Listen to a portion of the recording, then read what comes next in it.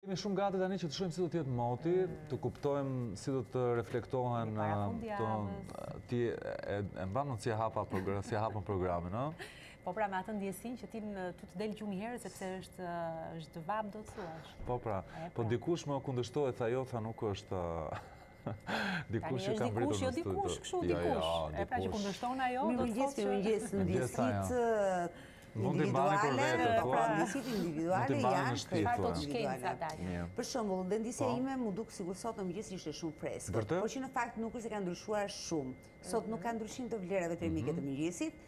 Kishte prezencë disi më të shtuar të erës dhe kjo e bëri që mëngjesi të ndihej më i freskët. Mhm. Por edhe nata freskët ka qenë. Mhm. Oke, mirë nata, po sot dita si do të jetë? Të shohim, do thonë, Shikuesit mund ta verifikojnë vetë se si ka qenë nata mbrëmë, si i kanë patur ndjesitë krahasuar me një natë më parë apo me atë që do vijë sonte. Se siç e ka natën njëri nuk e ka tjetri, edhe kjo mbase ka. Flasim gjithmonë për vlera termike, për temperaturat, për temperaturën. Dhe sot dhe në vijim për disa ditë, në fakt jo vetëm sot, do të kemi kthjellime, vranësira të lehta dhe kalimtare në pjesën më të madhe të Shqipërisë, ndërsa vranësira disi më të zhvilluara do të kemi në zonat malore, kryesisht në skajin verior dhe atë verilindor, ku pasditja e sotme sjell krijon mundësitë për momente të shkurtra për reshje të papërfillshme të shiut.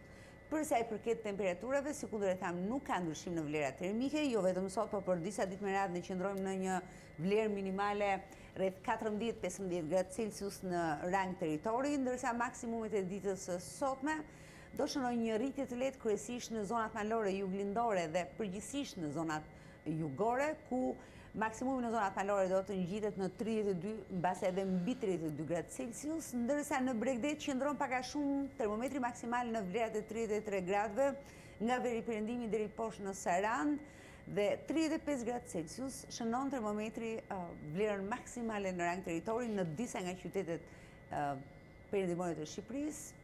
Le t'i përmendim dhe një herë Shkodra, Tirana, Elbasani, po ashtu Berati, Fieri dhe Gjirokastra do jenë dhe qytetet ku pritet maksimumi prej 35 apo lehtësisht mbi 35 gradë Celsius. E rëndësishme është fakti që diell kemi në të gjithë vijën bregdetare gjatë pjesës së parë të ditës, por edhe pasdite. Ndërkohë era nuk është problematike në territor, edhe në pjesën më të madhe të bregdetit, është disi problematike sot në mesditë dhe pasdite, kryesisht në brigjet e jugut, dallgëzimi mund të jetë diku tek tre apo mbi tre ballë.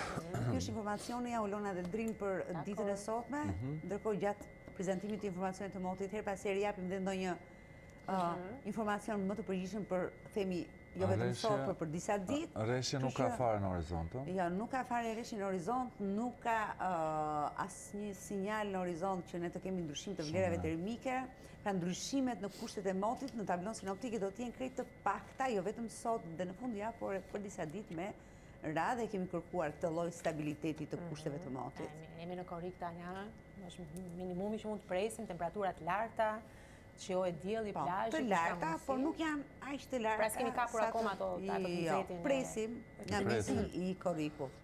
Do i presim. Do i presim me krahë hapur. Ne këtu jemi. Se jemi mësuar tashmë. Po, Tanja. Faleminderit. Faleminderit. Faleminderit.